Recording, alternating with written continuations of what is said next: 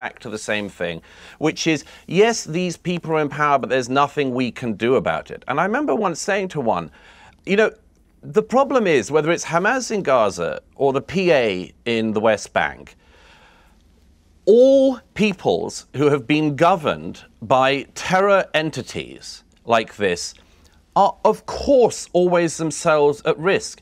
But the history of human liberation, apart from anything else, has always been people standing up to the tyrants who would, who would rule over them and govern them. So when Hamas seizes control of Gaza after the election and kills the members of Fatah and others, they then make a, they make a deal with Fatah uh, shortly afterwards, and then another one. So where is, uh, you know, the, the, the fine art of this, Piers, is to find the very obvious blue water between Fatah and Hamas, but they keep on destroying that clear blue water and making about, okay, it very murky indeed. Okay. But, okay, but you mentioned the West Bank. What about the aggressive expansion of the settlements that's been going on for the last year, which has been condemned by everyone, including the United Nations and others now? You know, that has been going on. A lot of Palestinian families are being mm. either killed or uprooted or thrown out of their homes as there's this aggressive expansion of settlements, which is illegal. It shouldn't be happening. I don't think anyone could look at this and say what Israel has been doing and what Israelis are doing, these settlers there, is, is right and proper and legal. Would you defend that? Well, look, I mean, the thing with the settlements, first of all, I mean, I regard it as being a second order issue because, uh, you know, there's a whole dispute well, it's, about It's not to those who are being killed or displaced, is it? Well, first of all, uh, uh, uh, say they're being killed and displaced. There's, there's, a, there's a territorial dispute in the West Bank uh, that you could see some of the borders. It would be as famously as, uh, as if Livni said, it would be the world's ugliest border.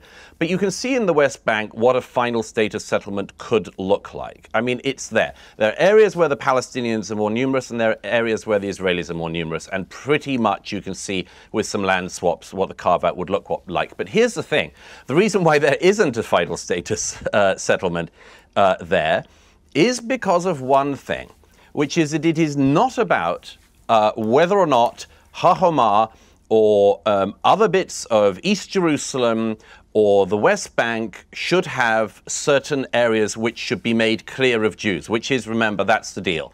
That in a, in a final status agreement, the Palestinian areas in the West Bank, just like Gaza, must have no Jews in them. That's, uh, that's the absolute baseline from which everything starts. That's, that's what everyone's agreed on, on all sides. I don't know why, but that's the agreement.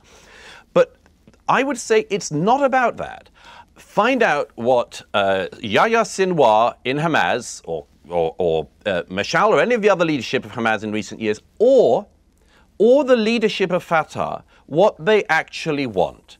And you see again and again, it is not about a, a, a, settlement dispute on a hill somewhere in Samaria. It's about whether or not Israel has the right to exist from 1948 to this day or not. It isn't. The, every single statement, and I can't stress this enough, from the Palestinian Authority of Fatah as well as Hamas, is that the Jews should be out of Haifa, that the Zionists should be out of Tel Aviv, that the Israelis must not be in Jerusalem. You see that they don't want an inch of this ground in this area to be governed by Israel and for Jews to be able to live in it. I wish that these people who who have come to this mad situation if you, they cared about their own people an insane situation. I wish that they, they that their forebears in 1948 had accepted the offer to have a state a palestinian state alongside an israeli state. I wish that at every point since when a, a deal could have been made whether it was at camp david or many times since i wish the palestinian leadership had been um, had cared enough for the Palestinian people that they had accepted the offers on the table. But again and again since 1948, they have said, no, we will sit this out, and one day the Israelis will disappear, and that's what we're holding out for. And that is the worst possible thing that they could have said to the Palestinian people, wherever they are, inside Israel, in the disputed areas, or in Gaza. The worst thing they have said to now several generations of Palestinians is we will not accept 99% of a state if there is a Jewish state. That is the reason there is not peace today. That is the reason there is a, not a final status settlement agreement. It could have been there for decades, just like the Gaza. This could have been so different, and the, cons- the responsibility to, of that, for that, in my mind, does not uh, sit on uh, one Israeli prime minister or another, or a dispute in the in a war cabinet. It is on the fundamental inability and reluctance of the Palestinian leadership since 1948 and before to just accept that the Jews have the right to exist in their historic homeland and have a state which they can defend. And whether it's Mahmoud Abbas or Yahya Sinwar, they have spent all of these decades misleading their own people and leading them into the precisely the situation of immiseration and now the horrors of Gaza that we see today. It is on that leadership and their failure of leadership, and it's a tragedy.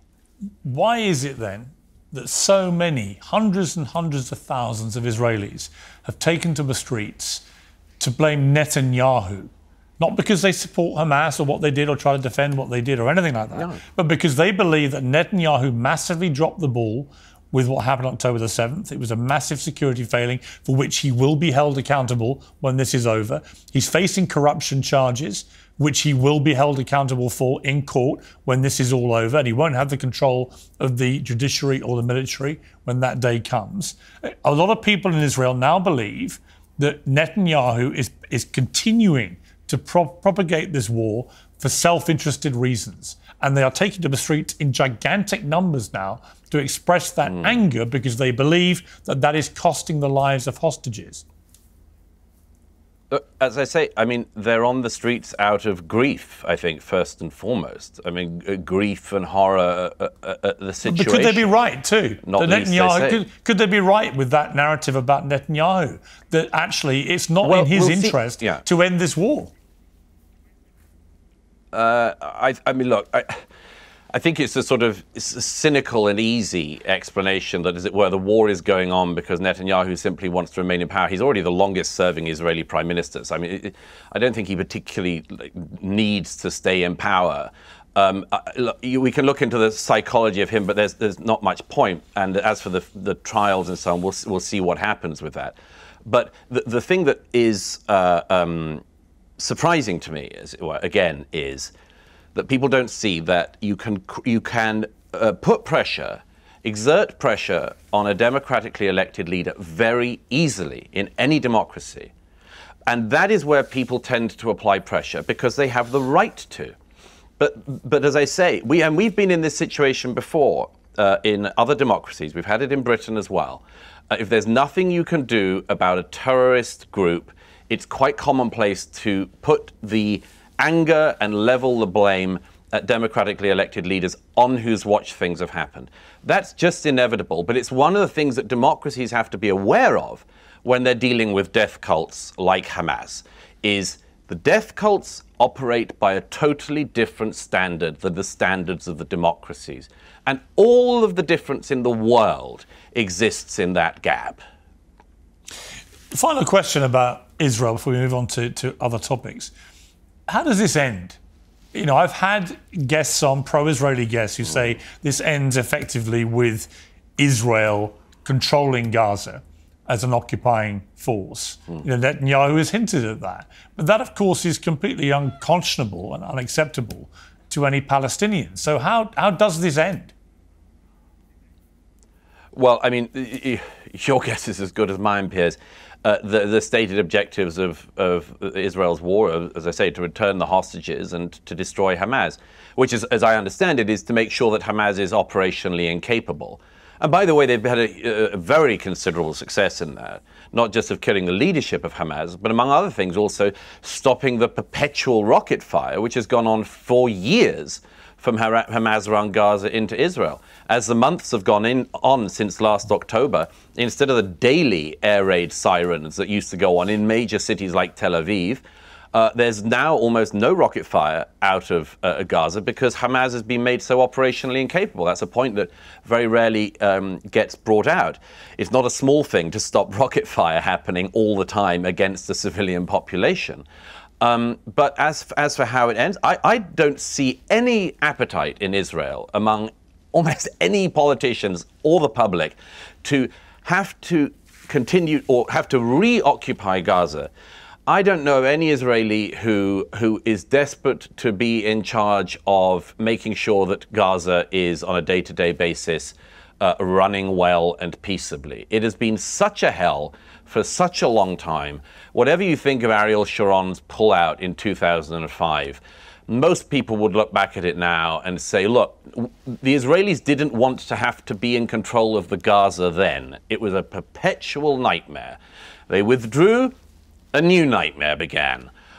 What the, the final agreement can be on the day after Hamas, it'll probably be, it should be, uh, in my view, some kind of international effort, the basis of which you can kind of see, I think, some of the Gulf states, obviously not the terrorist sponsors in Qatar, but some of the Gulf states, the, the, the, um, the Emiratis and others have expressed an interest in being involved in some way. The Saudis will probably have to be involved, the Egyptians, the Jordanians.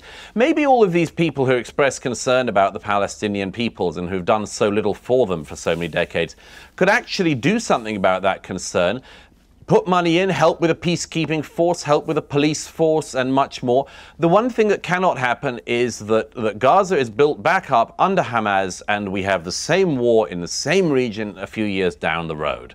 And so, what it looks like the day after, I don't know. But you know, that's the thing about wars. If you if you start a war, uh, as Hamas did on the seventh, you don't know how it's going to end. The one thing that Israel knows is what is impossible to tolerate. And what is impossible to tolerate is a situation where Hamas has control of the Gaza again and continues to fire rockets again and then does October the 7th again and again as its leadership have said they wanted to do. On that, I completely agree with you. Let's turn to a situation here in the UK several weeks ago, which were these riots that we saw erupting. Mm. Uh, it was a bizarre story to watch. I was in America at the time because it was precipitated by the appalling murder of three young girls at a Taylor Swift dance-a-thon uh, event uh, by what it turned out to be uh, a, a, young man who was born in Wales. He, his parents were Africans. They come here legally uh, to the country. They were legal migrants here. Uh, by all uh, est- estimation from reports I've read, good members of the community who just happened to have a son who appears to have gone uh, crazy and done a, a, heinous crime. And obviously, he's now facing uh, a court case which will uh, determine that.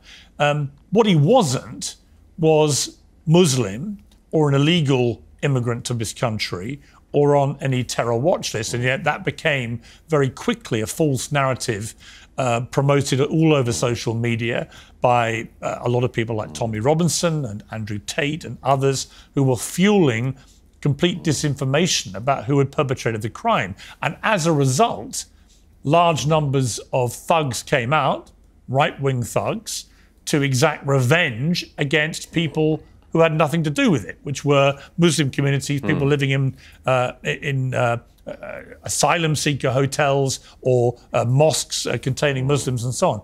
So the whole thing was a, a, a bemusing thing to watch unfurl. It showed social media at its worst. It showed agitators at their worst, and it was dealt with very quickly. And we'll come to how it was dealt with in a moment.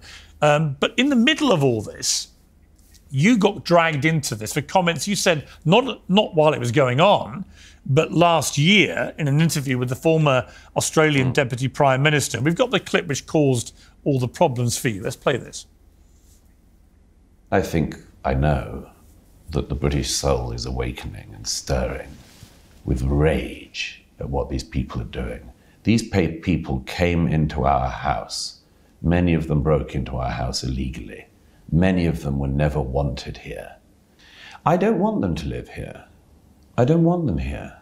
In the UK, uh, it's, it's different. Our police force behave differently and policing by consent and all of these sorts of things.